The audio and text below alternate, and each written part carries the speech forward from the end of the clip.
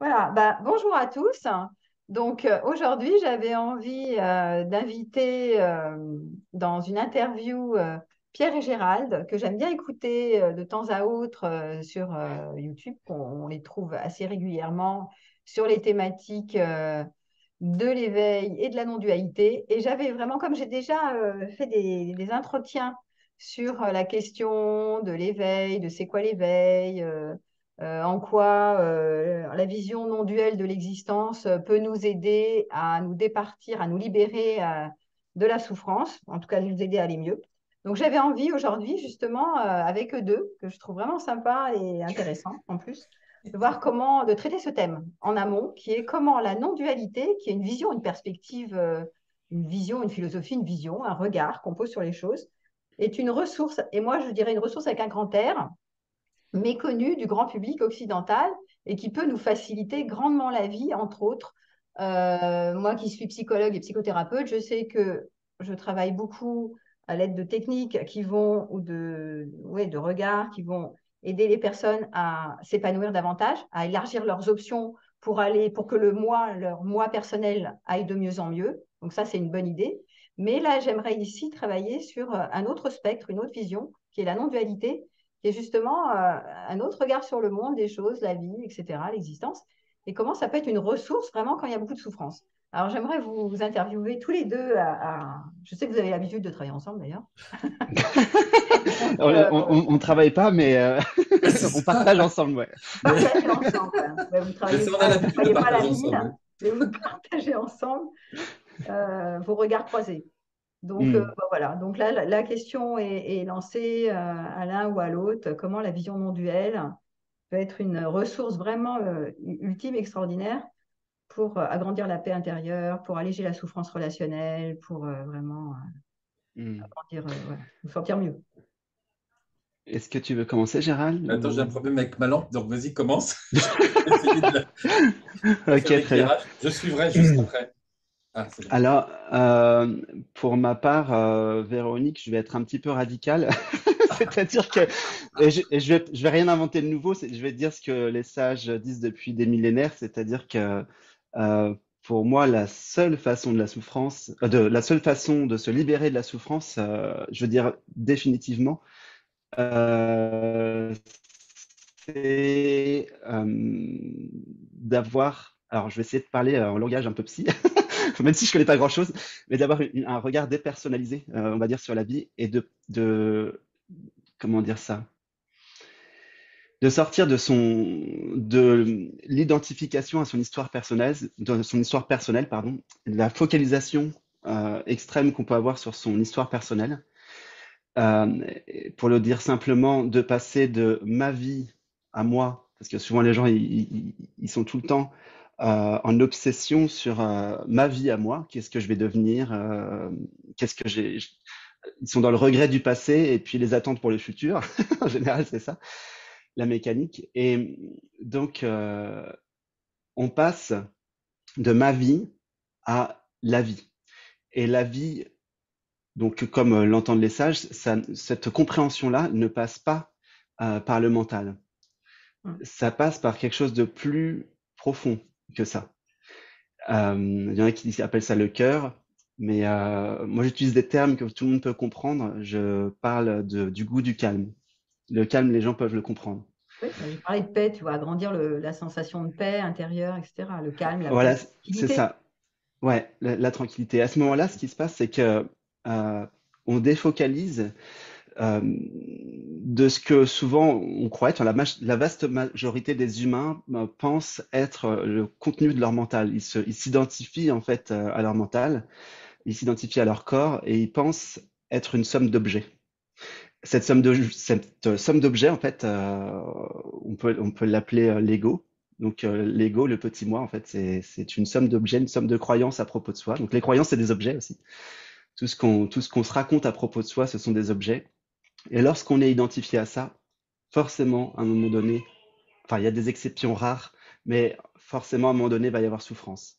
Parce que euh, c'est une sorte de carcan, euh, c'est limitant. Et y a, ce n'est pas, comme ce n'est pas ce qu'on est fondamentalement, on sentira toujours un mal-être. Pour les sages de l'Inde, ce qu'on est, enfin, et pas que de l'Inde d'ailleurs, tous les, tous les sages, euh, ce qu'on est fondamentalement est complétude, plénitude, euh, le, on va dire, le goût de ce calme, quand on commence à bien le, à être familier à ça, euh, c'est une satisfaction. On est satisfait dans le calme. Et dans ce, le calme, c'est le début. Euh, c'est donc c'est la, la, porte d'entrée. Dans ce calme, avec un petit peu plus de d'expérience à côtoyer ce calme, lorsque le calme est devenu un ami, lorsqu'on a l'habitude d'être avec ce calme, on va se rendre compte à un moment donné que dans ce calme, il y a une présence. Mm. Ça peut paraître euh, peut-être étrange pour notre culture, mais en fait, dans ce calme, il y a une présence, bah, ne serait-ce que sa propre présence, on peut dire ça. On peut partir de là déjà, on sent sa propre présence, on sent le fait d'être, et lorsqu'on est là, objectivement, lorsqu'on lorsqu'on est là, même, même pour un débutant, s'il est bien guidé en méditation, il peut arriver à ce goût de, de être, en fait, le, au fait d'être. Là, il y a une satisfaction qui est là.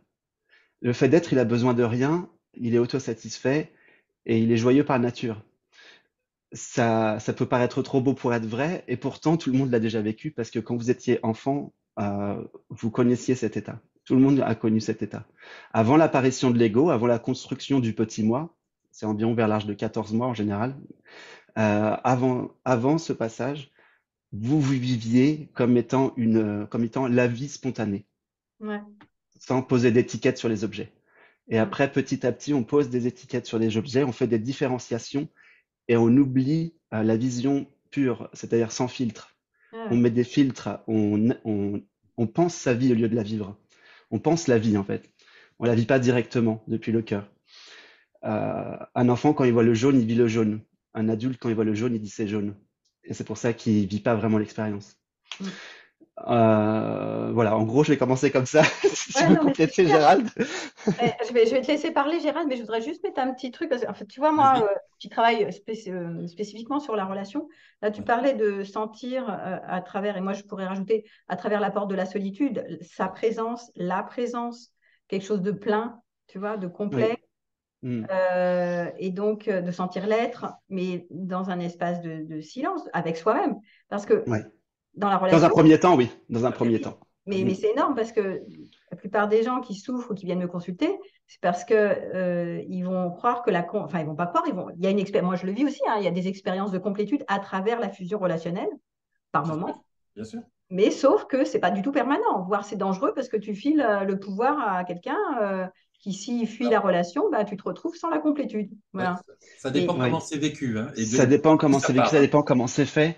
Euh, chez des- certaines fois, euh, les relations euh, peuvent, euh, par exemple, euh, il y a des gens qui sont, enfin moi des fois je vois des gens qui sont au bout, au bout du bout, on va dire, euh, au bout du rouleau, comme on dirait, qui n'ont pas le goût de vivre.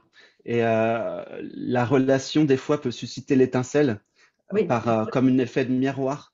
Euh, dans ce cas-là, effectivement, il y a, il y a une trappe, il y a, il y a un truc dont il faut se méfier, il faut pas rentrer dans la dépendance. Ça. Euh, mais par contre, susciter euh, cette inspiration, ce, ce goût de la vie, après, si la personne le ressent et on va dire se l'approprie, à ce moment-là, c'est un tremplin et à ce moment-là, elle peut, elle peut repartir. mais effectivement, ouais, c'est tout nous ramène. Tout, tout peut être inspirant en fait. Tout peut nous ramener à nous-mêmes. Quand tu dis relation, là, tu parles de relation humaine, mais on, euh, pour moi, euh, on est, on est en, en relation en permanente avec, euh, avec quoi que ce soit et avec tout. Et tout est, est enseignement. Il y a, il y a un message en fait en toute chose. Si on sait, c'est toujours une question de regard après.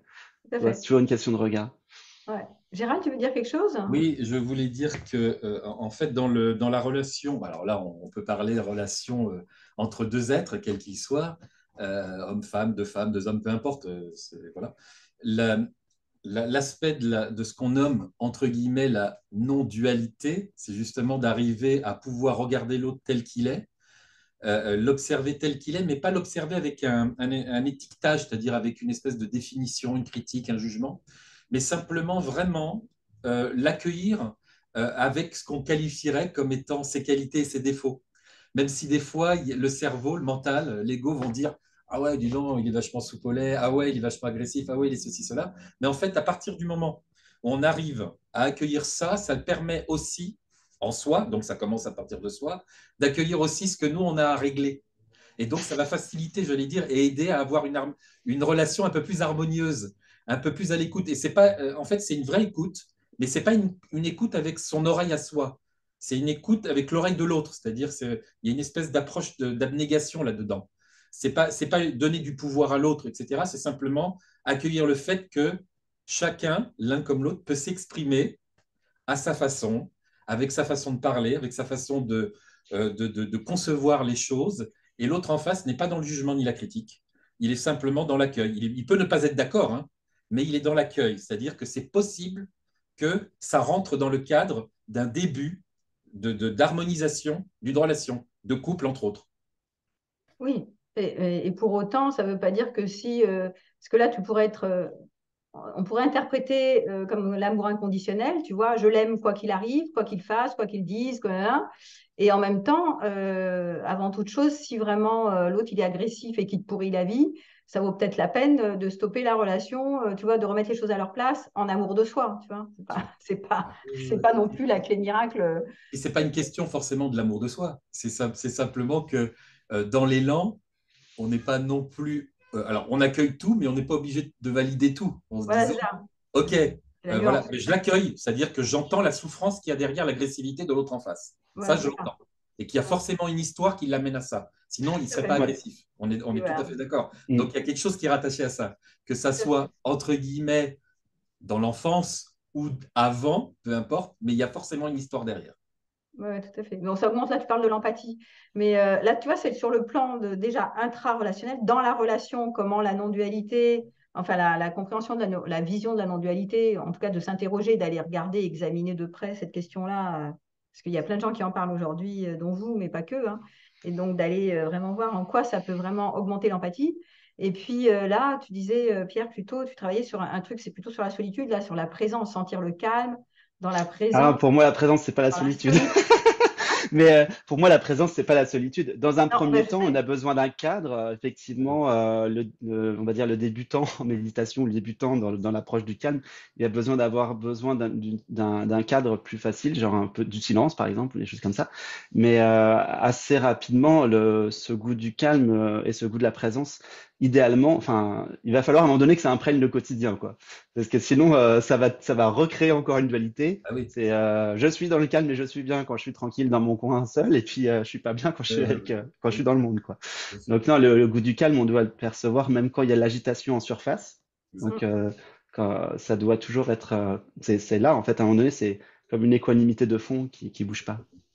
Ok, donc ça c'est super intéressant comme bah, comme euh, concept, c'est une expérience, mais bon, allez, euh, comment aller dans cette direction? Comment tu peux leur, euh, tu peux expliquer à mon public de voir comment ils peuvent aller? Parce que qui ne souhaite pas aller dans le calme ou dans une forme de plein derrière l'agitation, derrière les pensées, derrière notre logistique, notre quotidien, notre machin où on court comme des malades, où on veut tout, tout réussir, etc. Donc voilà, comment faire? Ah, il y, a, il, y a, plusieurs approches, ah mais euh, dans un premier temps, et là, ça rejoint la relation. En fait, la, la question, euh, parce que là, c'est une question de connaissance de soi, euh, la question de connaissance de soi inclut la relation. Celui qui se connaît bien lui-même connaît bien les autres. Celui qui se comprend bien lui-même comprend bien les autres. Quand on voit quelqu'un et qu'on a, on va dire, fait le ménage en soi, on arrive à déceler intuitivement les tenants et aboutissants de chaque action quand on voit par exemple, euh, je prends un exemple, quand on voit Emmanuel Macron par exemple, on voit tout son, tout son passé, qu'est-ce qui fait qu'il en est arrivé là, on voit son enfance, on comprend toutes ces structures et c'est spontané, c'est automatique, c'est intuitif. Donc on peut pas dire lui il est pas bien, lui machin, parce qu'on on voit euh, d'où il agit. Voilà, on voit d'où il agit. Et à partir de là, il y a, une vraie compassion. C'est pas juste, je pas juste euh, en empathie, c'est je le comprends en totalité. Je comprends, euh, je comprends d'où il agit, donc on peut pas lui en vouloir, tout simplement. Euh, euh, qu'est-ce que je voulais dire? Oui, et donc pour comprendre ça, en général, il faut avoir vu en soi bah, l'agitation, l'agitation mentale, l'agitation émotionnelle, les, croyances, les structures, etc. Donc, ça nécessite une certaine introspection. On va regarder tous ces mécanismes, comment fonctionnent les interventions du mental, d'où se créent les pensées, comment, justement, dans la mise en relation, comment je me, comment, quel rôle je prends quand je me mets en relation? Parce que ça, ça fait partie de l'ego. Et donc, je vais voir que je me, que je me limite à des personnages, je me, je me, prends pour des personnages devant les gens. Ça crée des tensions, tout ça, hein, en fait. Le fait de, de, à chaque fois jouer des rôles et, machin, ça crée des tensions. On n'est pas, on n'est pas en authenticité. Et ça, en fait, on va, euh, si on a un regard clair, euh, authentique, vrai et sincère, comme dirait Gérald, c'est un peu son expression. Si tu es vraiment authentique, vrai et sincère, tu vas voir euh, quand tu joues des rôles, quand tu portes des masques. C'est-à-dire, euh, bah, tu le sais si tu es, euh, si es psychothérapeute, tu sais que la, la, la, persona, ça veut dire celui qui porte le masque. Un, donc, et tout ça, c'est pas nous, en fait. Nous, on est, enfin, on est conscience, pour le dire simplement. Nous, on est une conscience qui voit, on est la conscience qui perçoit le personnage, on est la conscience qui perçoit les pensées, on n'est pas les pensées. On est la conscience qui perçoit euh, les émotions, on n'est pas les émotions. Et c'est ça qui fait qu'à un moment donné, le, le discernement va faire qu'il va y avoir une différence très très claire, limpide, entre les objets et le sujet. Hmm. Le sujet, par nature, le sujet est stable, il bouge jamais. Le calme dont on parle, euh, souvent on a l'impression que ça, le calme va et vient.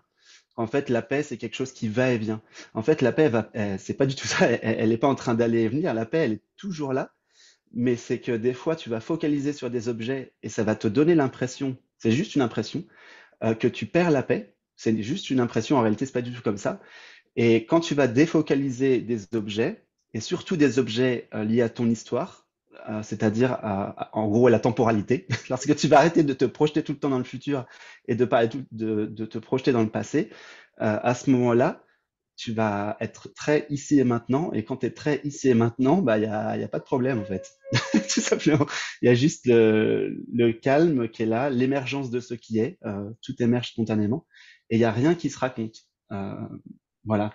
Il n'y a pas longtemps, j'étais avec une personne qui était très troublée et j'ai constaté que euh, elle était jamais là, elle était jamais maintenant. Elle était toujours dans le futur, toujours dans le passé, mais jamais maintenant. Ouais. Et grâce à cette personne, j'ai pu me rendre compte qu'en fait, euh, euh, dans le fonctionnement de Pierre, elle m'a demandé euh, des choses sur euh, qu'est-ce que je comptais faire plus tard et tout ça. Euh, j'ai jamais de pensée comme ça. Je me raconte jamais rien sur le passé de Pierre. Le passé de Pierre, pour moi, c'est comme si c'était un, une espèce de, de, de, fumée, quoi, ça n'a aucune importance, c'est vraiment un nuage de fumée qui, qui a aucun, aucun intérêt. Je mets aucun intérêt dans l'avenir et, et, le passé, en fait. C'est pour, pour la faire simple, c'est tout est, tout est là, quoi. Tout est là maintenant.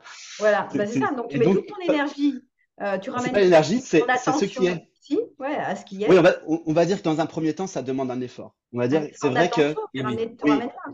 c'est vrai, dans un premier temps, ça demande un effort jusqu'à ce qu'à un moment donné, tu perçoives que tu n'as aucun effort parce que de fait, tu es, tu es maintenant. en fait, tu ne peux pas être ailleurs que maintenant. Simplement que tu crois que tu es ailleurs que maintenant. Exactement. Parce que, parce que tu focalises sur des pensées. Donc tu, tu te fais embarquer en fait quelque part. Mais, mais si tu, si tu, euh, donc le fait de goûter le calme, va faire que tu vas savourer de plus en plus maintenant. Et, euh, et en fait, le, voilà, ça par contre, il va falloir me croire sur parole. la joie, c'est le goût de maintenant. La joie, c'est maintenant. Si tu, si tu cherches la joie plus tard, ailleurs, ou, ou avant, encore, encore mieux, le fois, j'ai quelqu'un qui me dit, moi, je veux ma vie, je veux ma vie d'avant. Bah, bon courage. Donc, en fait, c'est la joie, c'est maintenant. C'était vraiment maintenant, tu vas retrouver la joie d'être de l'enfant tu, vas, tu vas le sentir. C'était vraiment maintenant le simple fait de boire un verre d'eau, de respirer, de marcher, de sentir le vent euh, sur la peau, c'est extatique. Mais sauf qu'il faut être maintenant et, pas euh, dans des histoires à propos du personnage, à propos de l'histoire de la France, du monde ou, que sais-je quoi. C'est ça. Dira, tu veux dire un truc? Parce que je te poserai une question. J'ai une, enfin, j'ai une patiente en ce moment, je pense à elle parce qu'elle est adorable. Et euh, elle vient d'apprendre qu'elle a un cancer, elle a eu déjà plein de maladies, etc. Donc, euh, tu vois, dans des cas extrêmes comme ça, c'est. Elle, se projette dans le futur en disant Oh là là, mais qu'est-ce que je vais dire Il y a une identification au corps aussi, au corps. Bah, c'est bah, exactement ça. Je veux dire, quand on a des maladies, euh, alors successivement, ou même un cancer ou des maladies génétiques ou autres assez graves, assez importantes, la, la, seule chose, ce qui va se passer, c'est que le mental qui est quand même omniprésent dans, dans, cette, dans cette, existence, entre guillemets, l'ego aussi, vont forcément à un moment donné essayer de, de, de, de s'interposer, je vais dire, dans ce que tu vis au quotidien, c'est-à-dire dans ce que tu vis maintenant, pour essayer de prendre la place. Donc forcément, à partir du moment où tu t'identifies à ça, tu t'identifies au corps, mais pas au corps comme une, un orientateur, une boussole, euh, le corps qui pointe ou qui te dit la vérité. Là, tu, en fait, tu te, tu te focalises dessus comme si c'était la base de tous tes mots. Euh, etc. Euh, évidemment, quelque part, c'est une erreur, c'est une façon simplement d'appréhender les choses, mais à l'envers. D'accord? Et automatiquement, il va y avoir l'instinct de, quand on a une maladie grave, de conservation, de sauvegarde, de ne pas disparaître, on va mourir. Et ça, forcément, ça bouge et ça met tout en branle. D'accord? Et là, ce qui est important, c'est justement ce que disait Pierre euh, juste avant, c'est d'aller chercher au fond de soi. Donc, euh, on, passe par le cœur, parce que le cœur, c'est vraiment la porte ouverte à ça. C'est le plus simple d'ailleurs qui soit. Hein. C'est le cœur, hein. ce n'est pas le, système conceptuel de je ne sais quoi qui va nous amener à, retrouver cette paix, cette sérénité. Et c'est la seule façon de pouvoir appréhender, j'allais dire, euh, quelque part, mis à part l'aspect du choix du traitement médicamenteux que l'on peut suivre, c'est la seule façon intérieurement d'appréhender une maladie. C'est de s'intérioriser pour retrouver ce, essayer de retrouver ce calme, cette sérénité, cette paix. Il n'y a que comme ça. Alors, quand tu dis s'intérioriser, est-ce que tu peux développer un peu? Alors, s'intérioriser, c'est simplement, par exemple, évidemment, euh, on, peut, on peut pratiquer la relaxation, la méditation ou d'autres pratiques. Il y a des gens, ils vont faire euh, euh, du Qigong, d'autres, ils vont faire des arts martiaux, d'autres, ils vont faire. Peu importe, c'est de trouver vraiment ce qui nous parle le plus et ce qui amène surtout cette espèce de, de, de, de bien-être intérieur qu'on arrive tous, j'allais dire, à se dire intérieurement en se disant là, je me sens vraiment bien. On sait quand il y a une problématique ou quelque chose qui émerge et on sait quand on est vraiment bien intérieurement. On le sait, en tout cas quand on ne se ment pas. Donc c'est ce truc-là qu'il faut retrouver. Euh, euh, donc toutes les approches possibles et imaginables peuvent nous mener justement à se reconnecter à cette paix, à cette joie intérieure. Et je suis d'accord, au départ, on a l'impression qu'on a beaucoup d'efforts à fournir pour retrouver ça. Ça, c'est au départ. Ensuite, une fois qu'on va prendre conscience qu'en vérité, ça ne nous a jamais quittés, parce qu'en fait, c'est ça la vérité c'est que cette paix, cette sérénité, cette joie, elle a toujours été là. Comme le disait Pierre tout à l'heure, il faut simplement retrouver euh, euh, l'enfant qui est en nous, on va le dire comme ça, même si c'est un terme très à la mode en psychothérapie et tout ça, mais c'est la vérité. Cet enfant-là, il connecte uniquement à maintenant. C'est-à-dire qu'il ne se pose pas la question de ce qu'il faisait avant ou ce qu'il fera après. Il est maintenant, du coup, il est toujours en joie et en paix. Et c'est d'ailleurs pour ça que les enfants qui sont malades, des fois qui ont des maladies graves, quand on les interroge, c'est les premiers à dire euh, Ah, ma mère, elle s'inquiète, mon père, il s'inquiète. Et toi, comment tu t'inquiètes aussi? Et ils répondent Ah, ben non, ça va. Moi, je sais que j'ai telle maladie, mais ça va. Tu vois, ils ont pas. C'est ce truc-là, en fait. C'est justement une clé. Cette paix-là, elle peut nous permettre d'aider à passer à travers la maladie, enfin, du mieux possible. Voilà. Peut-être même de guérir plus facilement, euh, euh, etc. Donc, il faut retrouver vraiment ce truc-là. C'est vraiment la. C'est une clé, c'est une grosse clé c'est une grosse clé parce que là, c'est, c'est comme si euh, la projection du futur, elle est juste énorme à ce moment-là. Tu vois, quand tu commences à annonce d'une maladie, machin, oh, elle, tout, ah contracte. Bah donc ton corps, euh, il est archi contracté, le mental a donf. Ah. Et donc, euh, là, ça part en vrille, quoi. Ah bah c'est même souvent ce qu'on appelle le submergé. Enfin, tu es submergé au niveau émotionnel, quoi. Puis après, tu as, les angoisses, après, tu as le trouble du sommeil, après, c'est le machin qui se mord la queue, ça part en live, quoi. Exactement. Mmh.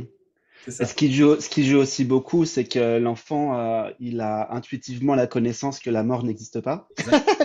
euh, il sait qu'il y a une survivance après la mort du corps, il le sent intuitivement, alors que l'adulte euh, va croire ce qu'on lui dit, surtout en Occident, euh, qu'après la disparition du corps, il n'y a rien. Et donc forcément, quand tu crois ça, ça devient difficile, quoi. Dramatique. C'est difficile, c'est tragique et dramatique, tu veux dire. bah ouais. Euh, si tu crois que... tu vas pas exister après le, après le, corps, c'est sûr que ouais, ça peut être difficile. Bah, mm. et puis ça signifie quelque part que tu es susceptible de plus exister même maintenant déjà. Donc du coup, effectivement, bah, il peut tout arriver de grave maintenant. Il y a pas... En fait, ça devient une fatalité. Alors que l'enfant, mm. il n'a pas ça. Ouais. Il y a comme une espèce de, de, euh, d'autorégulation, d'auto, euh, comment dire, comme si qui se guérissait tout seul, auto-guérison et tout ça. Tu vois, l'enfant, il est vraiment dans quelque chose de, très, pour employer un mot à la mode, mais très pur, très simple. Ouais. Oui, très simple. Très simple. C'est vraiment très simple. Et euh, non, mais c'est vrai, ce que ça me fait marrer parce que c'est quand on imagine, euh, comment l'imaginaire d'ailleurs, comment notre imaginaire euh, qui est orienté sur la finitude, mm. ou, alors, ou alors je vais perdre cette personne qui m'est si chère. Enfin, bon, ça aussi, c'est d'autres exemples dramatiques, tu vois, tout le tragique de l'existence en fait. Hein. Oui. Condition humaine, en fait, c'est, ça peut être hyper lourd, tu vois. Ça ouais. C'est pour ça qu'à un moment donné, euh, sur le chemin de la connaissance de soi, la question de la mort va se poser assez rapidement. Quoi. Ah. si, on veut aller, au bout de la ah libération de la souffrance, il va falloir investiguer très sérieusement cette question. Ah bah oui, c'est sûr. Euh, d'autant plus que, tu vois, moi j'ai beaucoup à faire avec des gens qui sont dépendants affectifs, qui vont retourner à la solitude, détresse, et qui est en réalité une, angoisse de mort, en fait. C'est l'angoisse de, il n'y a plus rien, c'est vide, je sens la panique, oh là là, euh, il n'y a plus de stimulation c'est la fin du petit cheval. Euh, et donc, euh, cette question de, l'angoisse de la mort, en fait, elle est, elle est juste euh, essentielle, quoi. Oui. Bien sûr. Dans, des moments d'extrême détresse comme ça, alors je ne sais pas si ça va parler à tout le monde, mais bon, moi, j'ai pas une j'ai pas eu une vie très souffrante, honnêtement, comparé aux gens que je vois au quotidien. ça va. mais il y a eu quand même trois, quatre moments où c'était la, la, tornade quand j'étais en chemin. J'ai eu des moments où c'était très compliqué. Et euh, dans ces moments-là, automatiquement, alors peut-être que ça va pas le faire pour tout le monde, mais en tout cas, moi, automatiquement, il y, a, il y avait une force de prière qui se mettait en place. Ça. Automatiquement.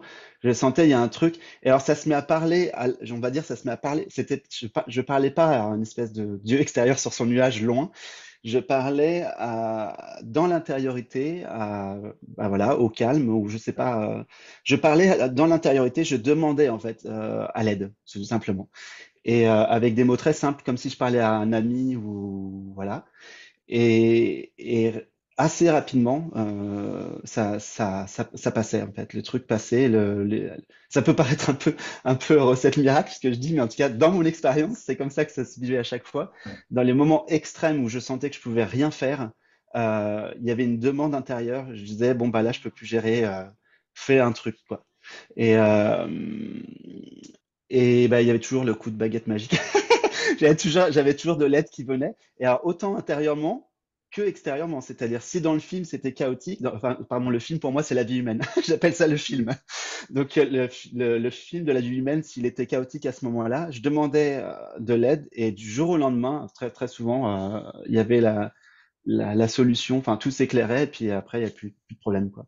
Mais il faut être capable et je sais que c'est difficile quand l'ego est très très, euh, quand on est très identifié au personnage.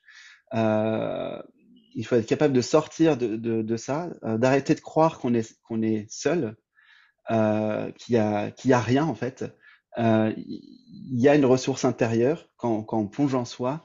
Euh, on peut on peut parler même si même si on croit pas en Dieu on peut on peut dire je crois pas en toi mais il paraît que ça marche donc euh, si tu existes fais un truc et, et, voilà et il peut se passer des choses et la ressource justement la ressource elle est là parce que euh, euh, comme il dit, même si on croit pas en Dieu, comme dit Pierre, c'est pas un problème de toute façon. Même quand tu dis, je, il suffit simplement de dire avec une, une conviction, une foi inébranlable, je crois en moi.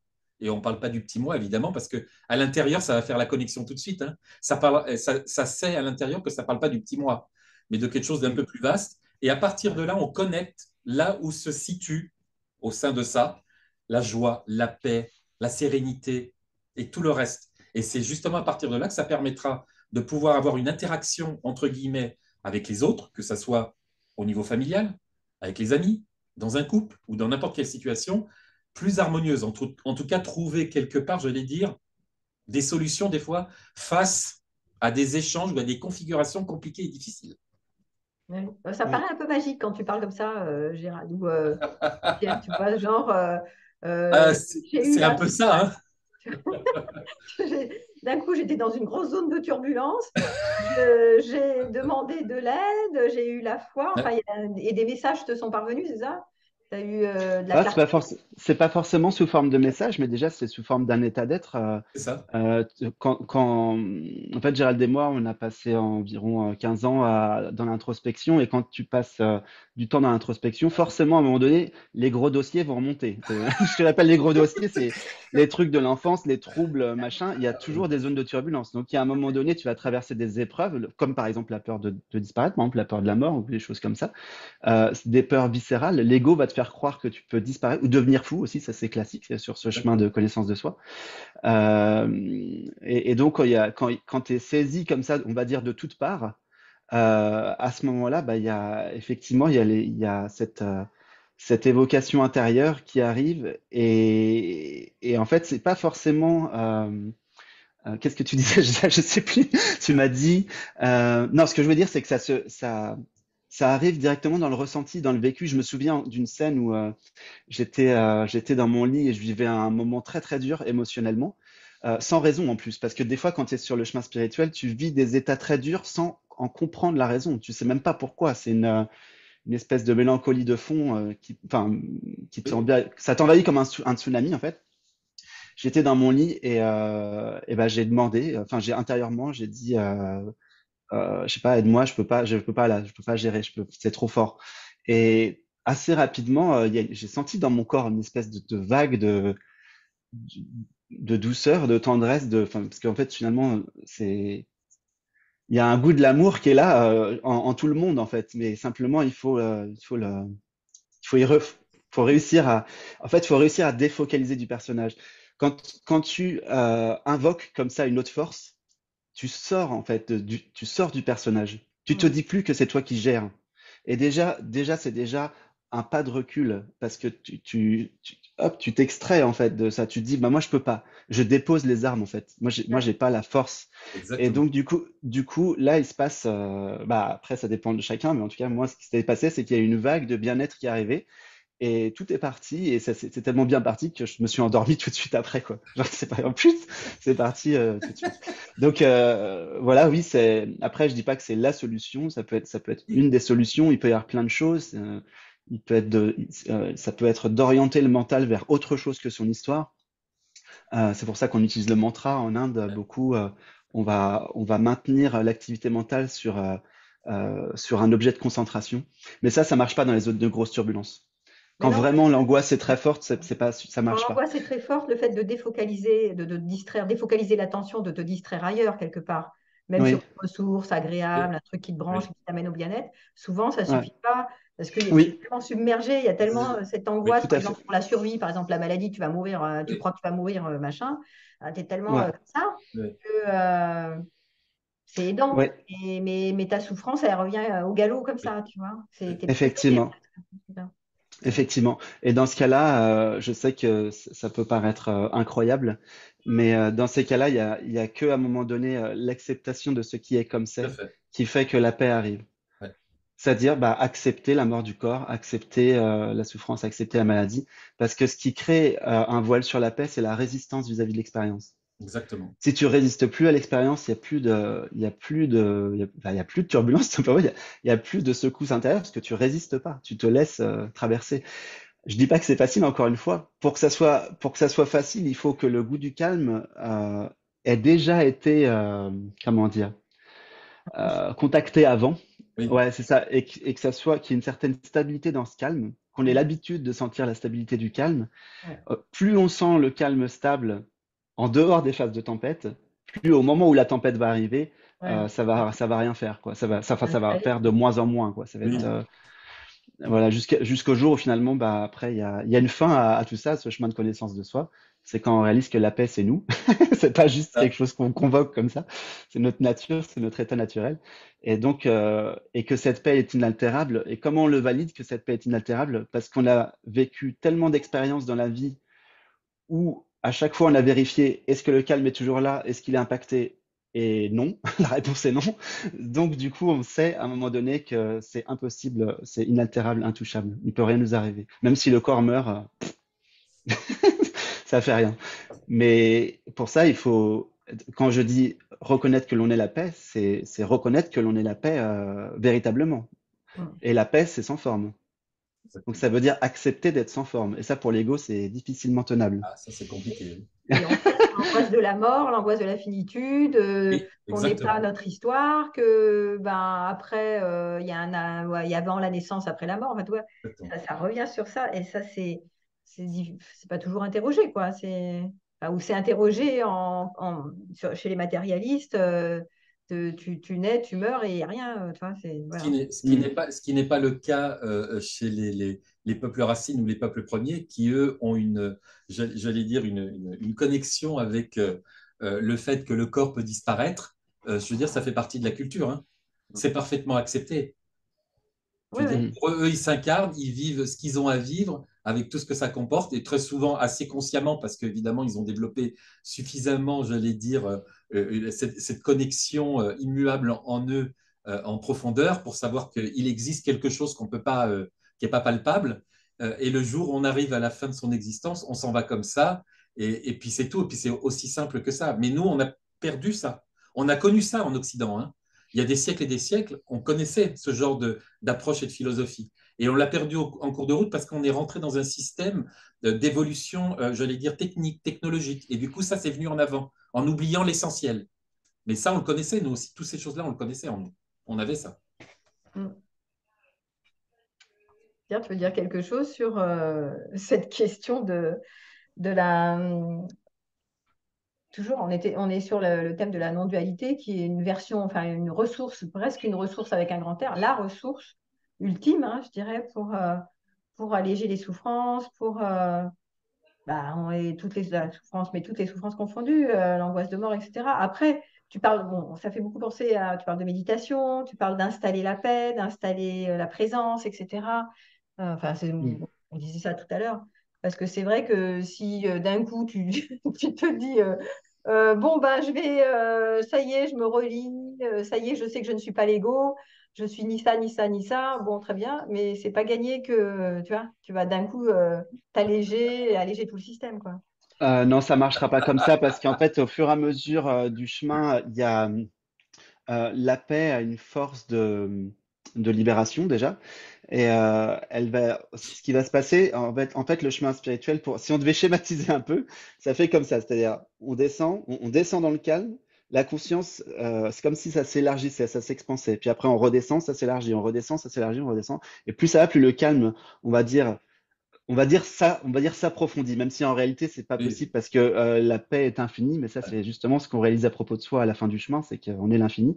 Mais le, on descend, c'est-à-dire on plonge dans le calme. Et là, quand on plonge dans le calme, on n'est plus conscient. Donc, on va commencer par conscientiser les choses, ce que les yogis appellent à l'état de veille ordinaire. C'est-à-dire qu'on voit euh, nos mécanismes à l'état de veille ordinaire. Euh, comment le mental il agit, euh, comment, comment on est en interaction avec les autres, etc. Et on voit tous les schémas limitants, tous les mécanismes, tous les freins, en fait, tout ce qui nous, tout ce qui nous emprisonne. Puis après, petit à petit, avec la méditation, on va pouvoir transcender l'état de veille ordinaire. Et c'est pour ça que c'est un chemin très efficace. Parce qu'à un moment donné, on va arriver à conscientiser le subconscient. Et ensuite, on va arriver à conscientiser l'inconscient. Donc, graduellement, on, encore une fois, comme je disais tout à l'heure, on va, les dossiers vont remonter. Euh, tous les trucs qu'on n'arrive pas à voir à l'état de veille ordinaire, ça va remonter.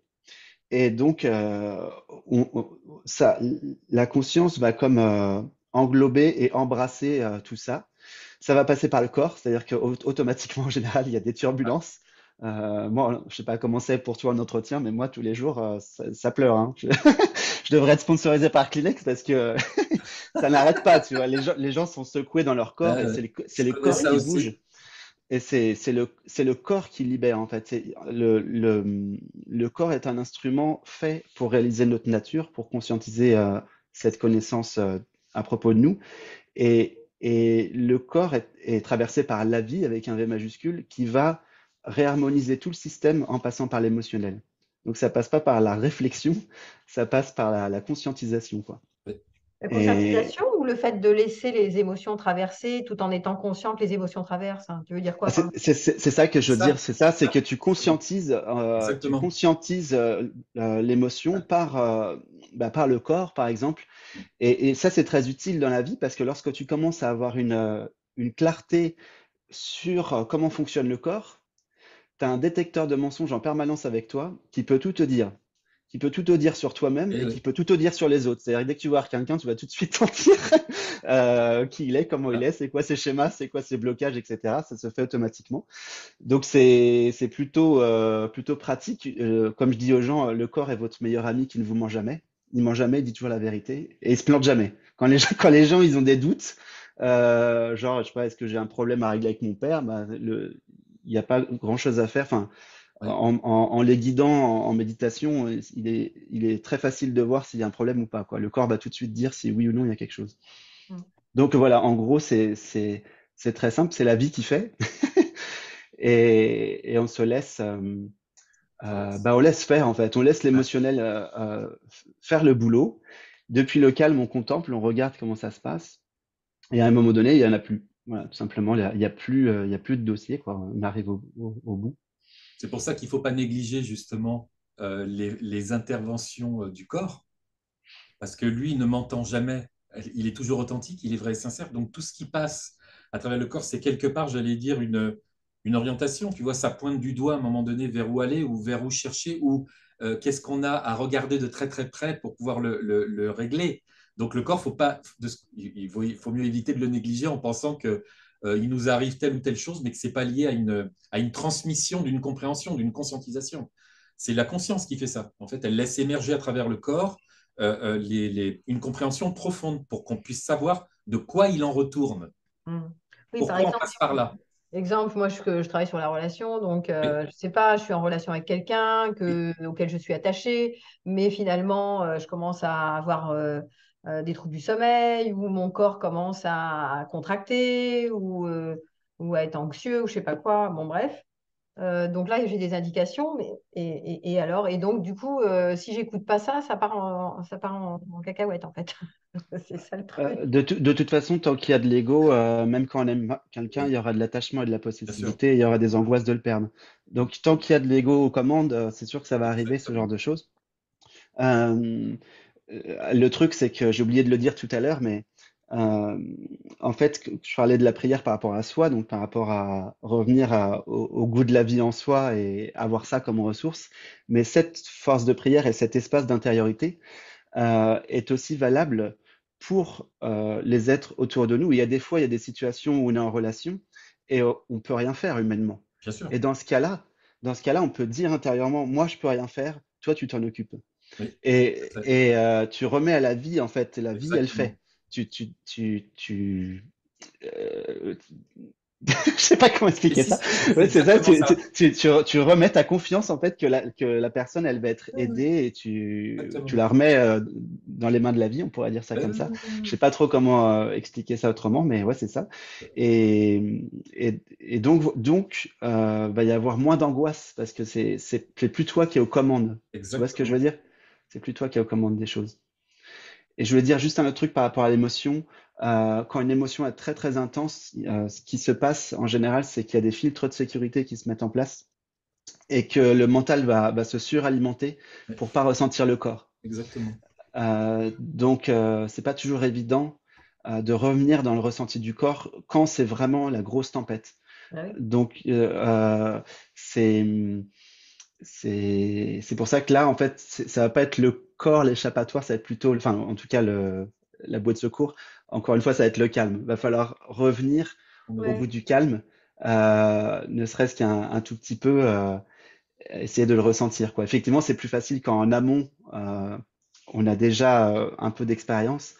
Parce que, comme je dis toujours aux gens, c'est n'est pas dans les zones de tempête qu'on travaille, c'est euh, entre les phases ah, intenses que. C'est important de le dire.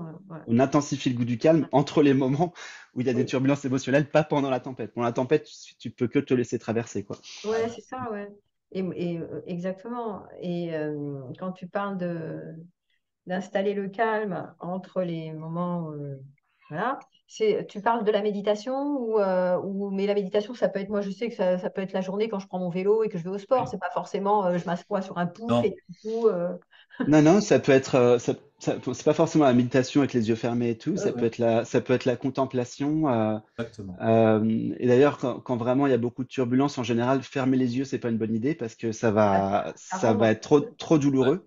Ah donc dans ces cas-là la contemplation sera plus facile. Tu vas plutôt ouvrir les yeux essayer de focaliser ton mental sur, sur euh, maintenant en fixant par exemple un arbre, en fixant euh, ou un oiseau ou je sais pas un, truc qui t'inspire, et puis tu, tu, tu restes focus là-dessus et tu sens, tu essaies de ressentir le goût du calme justement en passant par cette relation à travers un autre être euh, qui est l'arbre ou, l'animal. Voilà.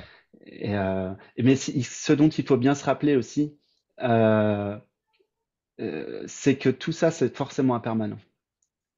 Forcément. L'émotionnel, enfin, tout, ce qui est un objet, c'est-à-dire tout ce qui est perçu, ne peut pas être permanent.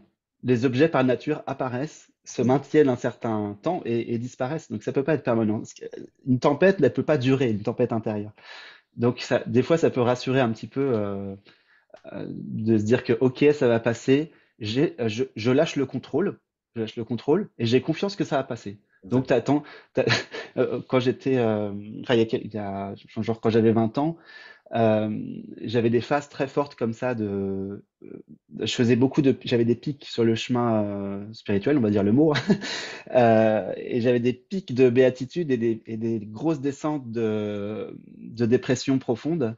Et à un moment donné, j'appelle un ami qui avait plus d'expérience que moi sur le chemin.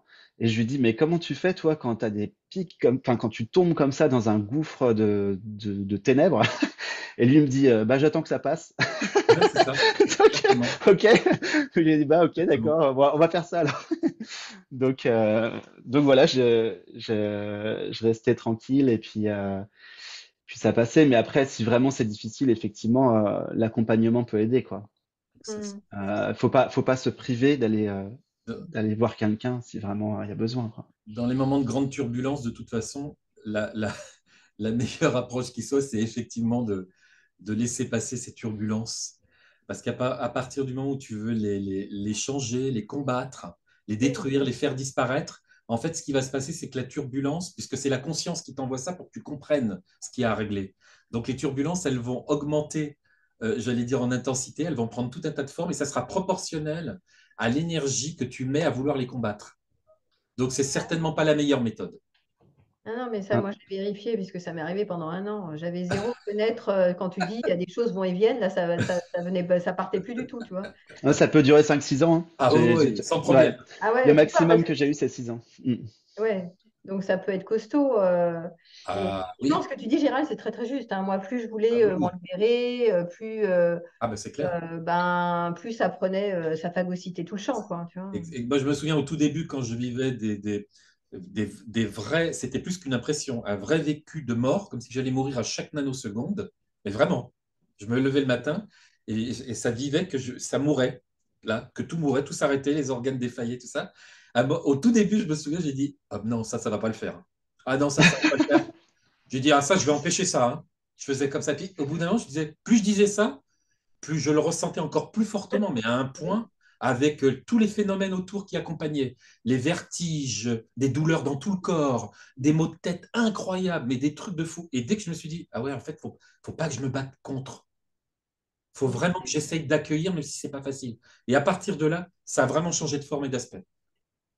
C'était totalement différent. Totalement Et en plus, j'avais des, euh, à la suite de, mon, de ma posture, c'est-à-dire de, de, cette posture d'accueil euh, et, d'acceptation, il y avait d'un seul coup émergé des, espèces de compréhension, des choses très profondes sur euh, du pourquoi, du comment je vivais ça, de tiens, c'était aussi, c'était aussi en relation avec des moments vécus dans l'enfance, des moments vécus avant. Donc il y a plein de choses qui émergeaient en même temps parce qu'il y avait cet accueil de se dire OK, la tempête, elle est là. Euh, je ne suis pas là pour l'empêcher. Au contraire, il faut que je sache pourquoi elle est là. Hmm. Pourquoi elle se manifeste? Il y a toujours, entre guillemets, une raison à toute chose. Il y a une base, je veux dire, euh, il y a un substrat à la base de ça. Forcément. c'est là où souvent le, travail des psys, euh, souvent c'est là où on, est, on intervient, si tu veux, pour. Ouais, c'est pour aider à voir en fait. Exactement. Aider à voir. Exactement. De l'origine, de pourquoi on, s'est mis dans cette affaire et que Ouais. est aggravé. Quoi. Après, euh, euh, voir, c'est très important. C'est, euh, pour moi, c'est la première étape. E-, être attentif. en fait, tout simplement, pour la faire simple, pour moi, c'est l'amour qui fait tout. Donc, c'est par amour qu'on se libère. Il y a un amour intérieur qui est là, que tout le monde a, et qui a une capacité de tout embrasser et de résister à rien. Et donc, le premier pas de l'amour, c'est l'attention quand un enfant, s'il reçoit de l'attention, il commence déjà à se sentir aimé.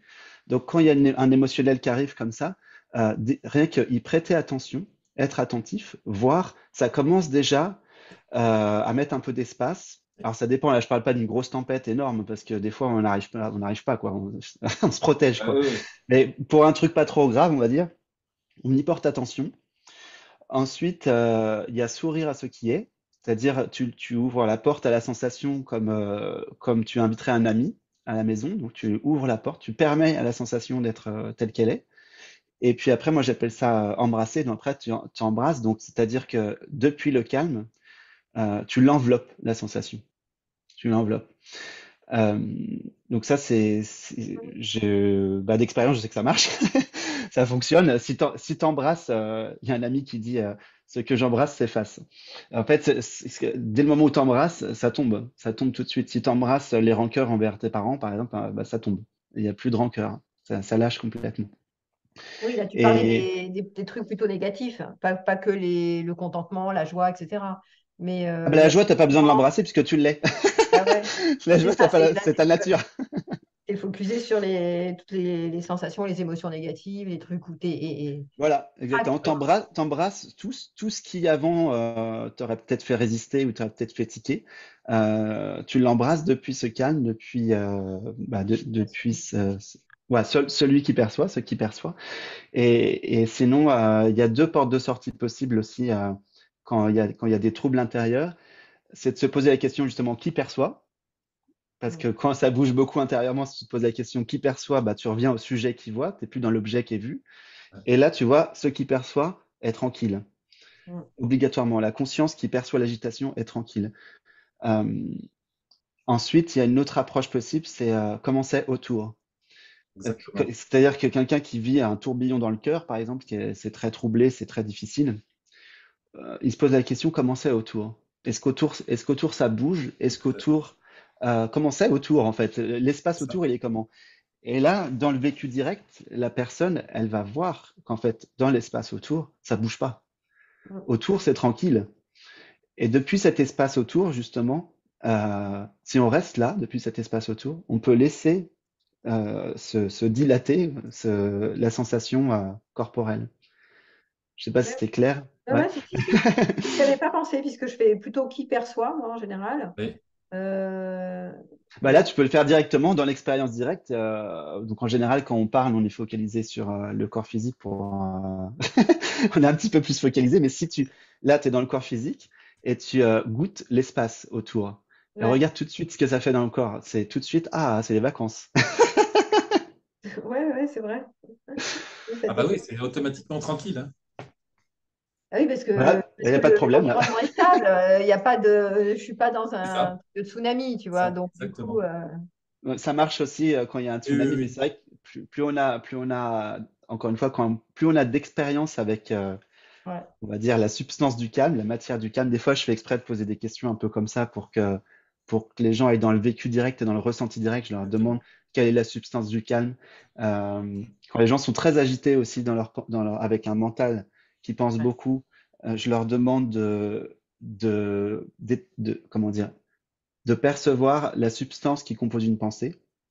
Et Ah là, encéphalogramme plat, là, il n'y a plus de pensée. Si tu essayes de toucher la matière de la pensée, euh, il n'y a plus de pensée qui apparaît.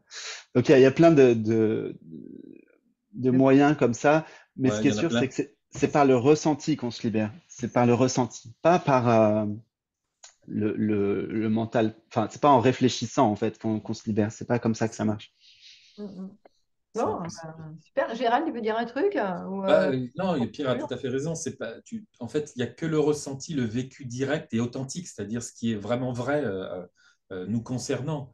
Euh, dès que tu passes par euh, le- le- l'utilisation d'un outil comme le mental, qui est un, en fait, c'est un outil qui est, qui est fait de concepts, donc qui conceptualise tout, euh, d'accord, et il va tout conceptualiser, mais il va pas parler vrai. Il ne peut, de toute façon, tout ce qui émane du mental ne peut raconter que du faux quelque part. Et même quand il parle de choses vraies, en fait, il tricote dessus, il invente des histoires, il superpose des choses dessus. Donc, on passe pas par le mental pour régler, j'allais dire, ces problématiques. On passe par quelque chose qui est en amont du mental, avant. Bah, et en même temps, là, on a fait, ça fait une heure qu'on conceptualise parce qu'il faut bien mettre de, pointer vers quelque chose. Effectivement, on utilise le mental pour, point, pour pointer vers ce qui est au-delà du voilà, mental. exactement. Et, mais mais euh, effectivement, on est, on est, des fois, on est, on est obligé d'utiliser le mental. euh, Enfin, on n'est pas obligé, On mais pas obligé. donc, ça peut faciliter des Voilà, choses. exactement. Mais, mais on peut utiliser le mental pour passer au-delà du mental. Si je te pose la question d'où émerge la pensée, tu, tu, tu utilises le mental, mais la réponse, elle n'est pas mentale. Voilà, exactement. C'est ça. Voilà, mais en gros, c'est c'est ça. Et, et puis, à un moment donné, on, on prend, on prend plus du tout au sérieux ce personnage qui raconte des histoires à, n'en plus finir. L'autre jour, j'étais avec une amie, elle me racontait ses histoires euh, de souffrance de son personnage et tout ça. Ce qu'elle me disait, euh, c'était pourtant très souffrant, mais à chaque fois qu'elle me disait ça, bon, il y a de la compassion, mais intérieurement, Oui, ça ça. riait vraiment très fort. Et ça rit tellement fort intérieurement qu'elle a fini par le sentir. C'est-à-dire que j'avais un sourire en coin. Et du coup, après, à la fin, quand elle me racontait ces trucs, elle était morte de rire aussi, Ah quoi. bah Elle, se Ah oui, c'est elle-même de se, ra- de se dire, Eh oui, ouais, oui. euh, mon passé, euh, mon futur, etc. Tout ça, c'est, c'est que du vent. Le mental, il dit n'importe quoi, de toute façon. Enfin, il dit, il est utile pour les choses pratiques, Ouais, mais oui. dès qu'il se raconte des histoires sur le personnage, sur euh, qu'est-ce que je vais devenir, etc., aucun intérêt. Faut, faut- c'est pas là qu'il faut, qu'il faut être, quoi. Il faut Ouais, juste, là, en fait, tranquille. Ici, c'est ici que ça Ici. se passe. Il ici. faut absolument Ah, prendre conscience que le mental, il sert uniquement qu'à des choses euh, de, de densification de, ma- de matière. C'est Ouais. uniquement pour la matérialité. C'est pas fait pour des choses euh, vraiment profondes à régler. C'est pas par là que ça passe. C'est pas par là que ça passe.